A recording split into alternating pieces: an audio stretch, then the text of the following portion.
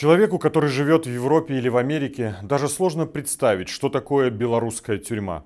Это остаток Советского Союза в его наихудшем виде. Это система, которую выстроил еще палач Сталин при помощи садистов из НКВД, а Лукашенко ее сохранил и еще больше дегуманизировал. Не выключать на ночь свет – Отбирать матрасы и спальные принадлежности. Не принимать передачи с едой при абсолютно отвратительном питании. Держать форточку открытой даже в самые лютые морозы. Несмотря на ковид, набивать в совсем маленькое помещение 18-20 заключенных, которые справляют нужду на глазах друг друга, потому что туалетом является просто дырка в полу камеры. Это не какие-то фантазии, это Беларусь при правлении Лукашенко – прямо сейчас.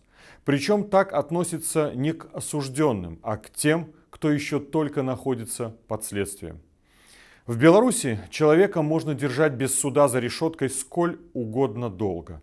Можно проводить расследование по одной статье Уголовного кодекса, потом предъявлять новые обвинения. И все начинать сначала потом опять менять обвинения и снова продлевать содержание под стражей. После выборов в Беларуси возбуждено более двух с половиной тысяч уголовных дел в отношении тех, кто выступил против Лукашенко. Однако некоторые попали в тюрьму еще раньше. Им предъявляют обвинения одно абсурдней другого, заставляя месяцами жить в невыносимых условиях. Администрация следственных изоляторов подсаживает к политзаключенным бездомных, больных педикулезом. Администрация может помещать политзаключенных в камеры, где содержатся лица, совершившие преступления на сексуальной почве. Оправдательных приговоров в Беларуси не бывает, а тем более, когда личные указания о наказании дает диктатор. Тому, что происходит в белорусских тюрьмах, есть максимально короткое и точное определение – пытка. Людей истязают, ломают – заставляют оговаривать себя. Такое давление толкает политзаключенных на крайние меры. В настоящий момент трое из них держат голодовку. Блогер Игорь Лосик, гражданский активист Дмитрий Фурманов и музыкант Игорь Банцер. Игорь Лосик и Игорь Банцер отказались не только от еды, но и от воды.